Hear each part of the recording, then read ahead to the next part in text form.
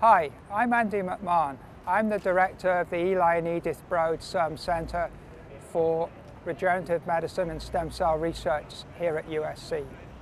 I'd like to welcome you for a tour of the six floors of this beautiful building that was put up in 2011 that's the hub for USC's regenerative medicine and stem cell research. Hi, I'm Gage Crump. My lab uses zebrafish to study the development and regeneration of the skeleton. So right now we're in the basement of the Broad building and this is our uh, zebrafish facility. Uh, we have uh, thousands of tanks of different zebrafish mutants and transgenic lines. Um, and so right here, here are some adult zebrafish.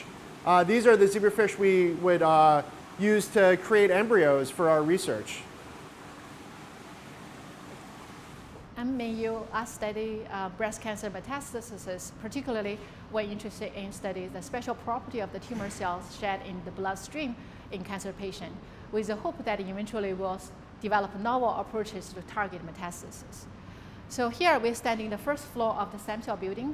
You can see there's a beautiful art donated by the Choi family called Return to the Beginning by the artist Yu Yo Yang.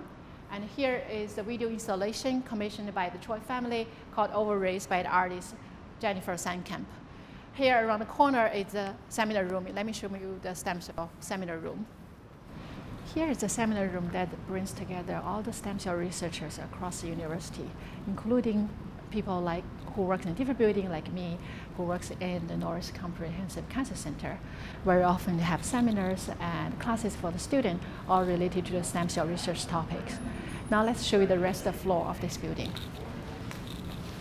Hi, I'm Justin Ichida. My lab studies ALS. I'm here in the Choi Family Therapeutic Screening Center, uh, where we use uh, machines like this uh, to, to test thousands of potential drugs on patient cells to see what might be uh, new therapies for ALS and many other diseases. Uh, if you follow me, I'll show you the rest of our uh, facilities.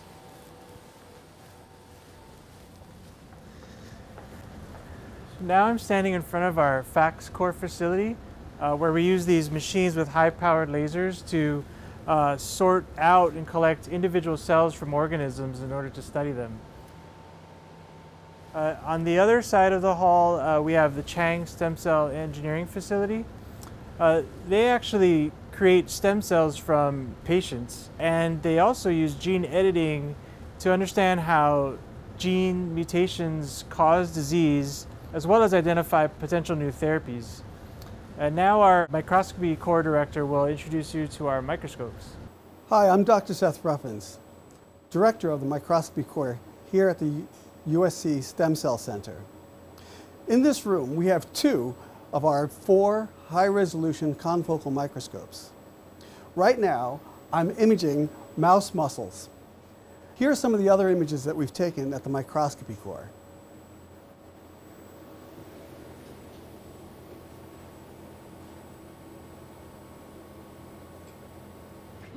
I'm Rong Lu.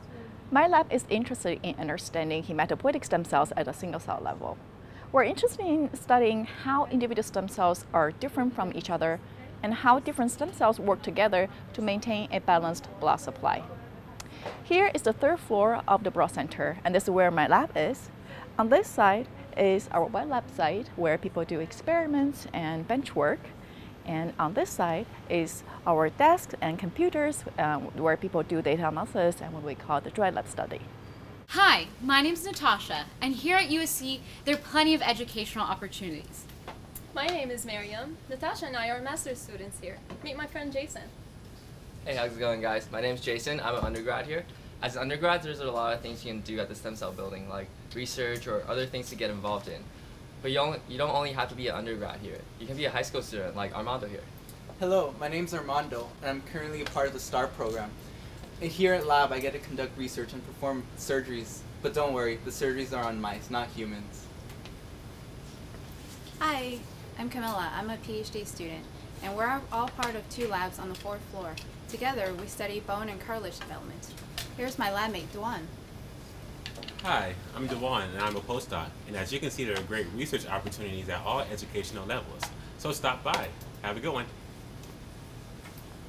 Hi, My name is Neil Segil, and my lab is on the fifth floor of the Broad Center.